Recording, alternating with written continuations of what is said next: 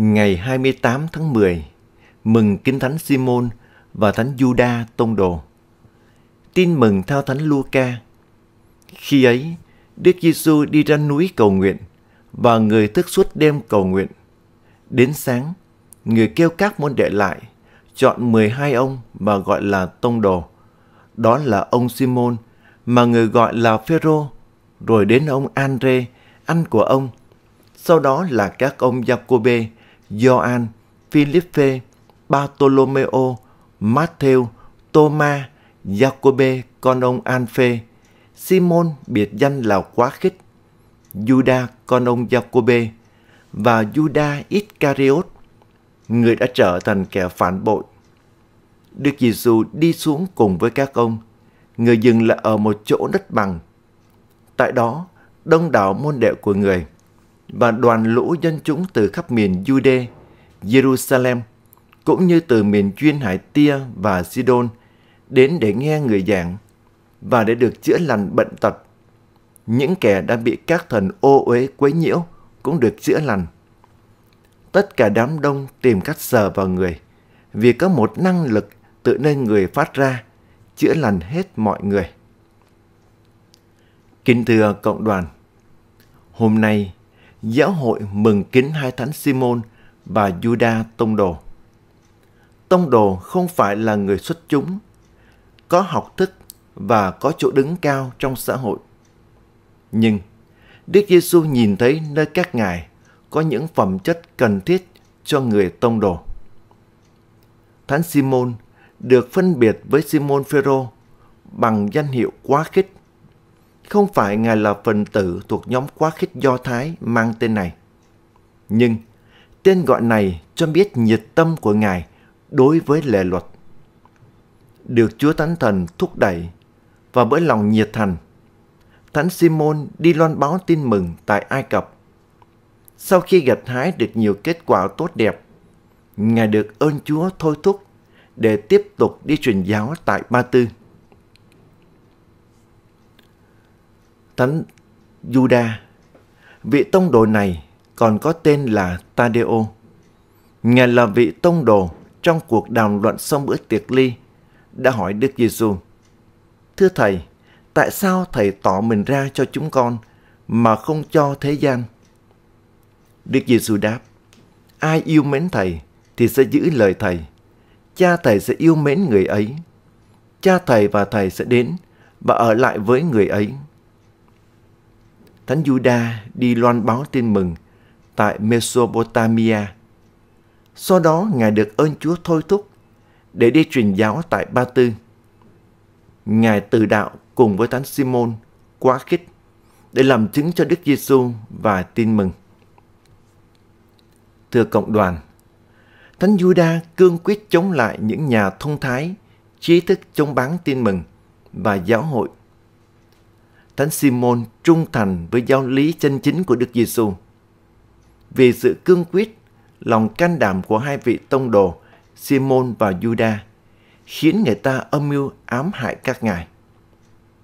Họ bắt bớ, đánh đòn và giết hại các ngài.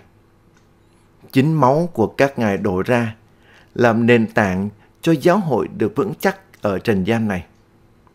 Sự nhiệt tâm tông đồ của các ngài là động lực và là lẽ sống cho người tín hữu tiếp tục dấn thân loan báo tin mừng. Thưa cộng đoàn, tin mừng hôm nay tường thuật việc Đức Giêsu thức suốt đêm cầu nguyện để xin thân ý của Chúa Cha muốn chọn ai trở thành tông đồ, cộng tác với Ngài trong sứ vụ loan báo tin mừng và mang ơn cứu độ của Thiên Chúa cho trần gian. Chúng ta biết rằng đời sống của Đức Giêsu gắn liền với việc cầu nguyện.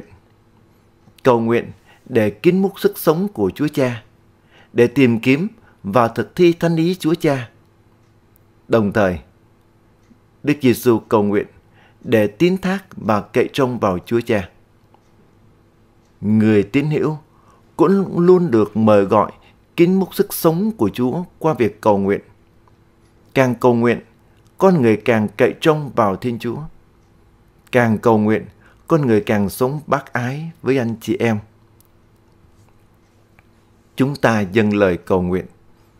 Lạy Chúa, Chúa đã dùng lời các thánh tông đồ rao giảng để cho chúng con được nhận biết danh Chúa. Xin nhận lời hai thánh tông đồ Simon và Juda cầu nguyện mà cho giáo hội được phát triển không ngừng khắp nơi trên trần thế.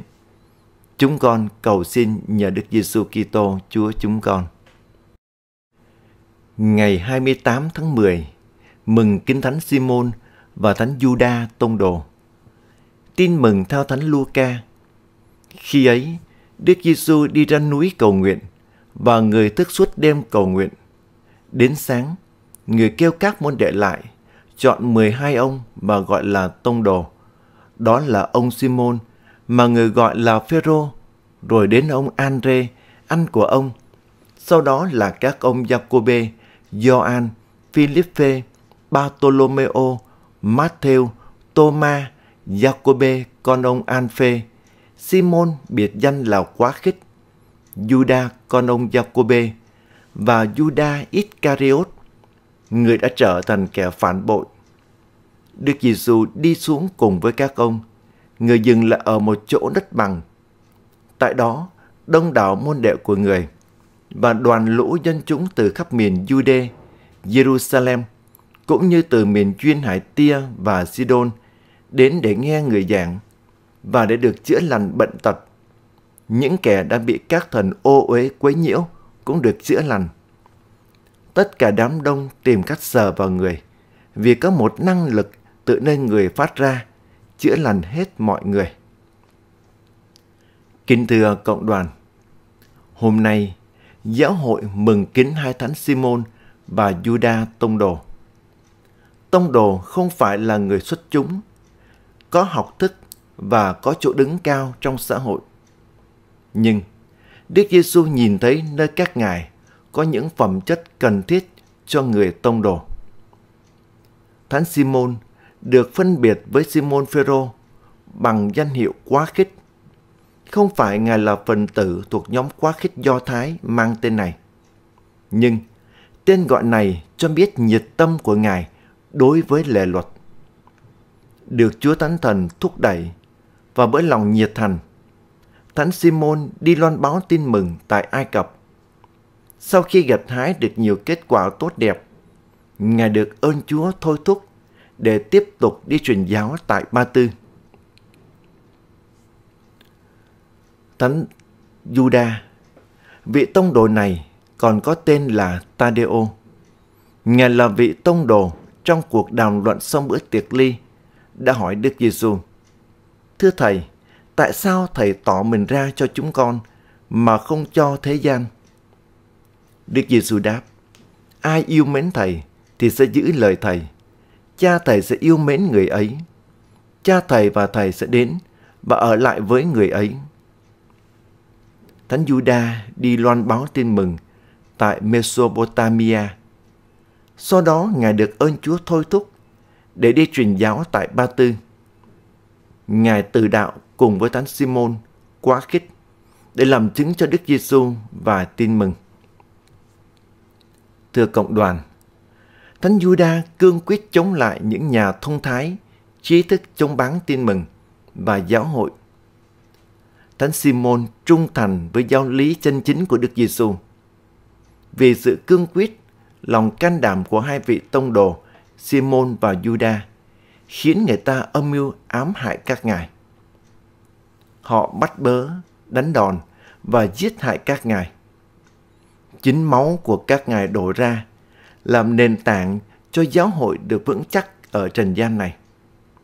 Sự nhiệt tâm tông đồ của các ngài là động lực và là lẽ sống cho người tín hữu tiếp tục dấn thân loan báo tin mừng. Thưa cộng đoàn, tin mừng hôm nay tường thuật việc Đức Giêsu thức suốt đêm cầu nguyện để xin thân ý của Chúa Cha muốn chọn ai trở thành tông đồ, cộng tác với Ngài trong sứ vụ loan báo tin mừng và mang ơn cứu độ của Thiên Chúa cho trần gian. Chúng ta biết rằng đời sống của Đức Giêsu gắn liền với việc cầu nguyện. Cầu nguyện để kín múc sức sống của Chúa Cha, để tìm kiếm và thực thi thánh ý Chúa Cha. Đồng thời, Đức Giêsu cầu nguyện để tín thác và cậy trông vào Chúa Cha. Người tín hữu cũng luôn được mời gọi kín múc sức sống của Chúa qua việc cầu nguyện. Càng cầu nguyện, con người càng cậy trông vào Thiên Chúa. Càng cầu nguyện, con người càng sống bác ái với anh chị em. Chúng ta dâng lời cầu nguyện. Lạy Chúa, Chúa đã dùng lời các thánh tông đồ rao giảng để cho chúng con được nhận biết danh Chúa. Xin nhận lời hai thánh tông đồ Simon và Juda cầu nguyện mà cho giáo hội được phát triển không ngừng khắp nơi trên trần thế. Chúng con cầu xin nhờ Đức Giêsu Kitô Chúa chúng con.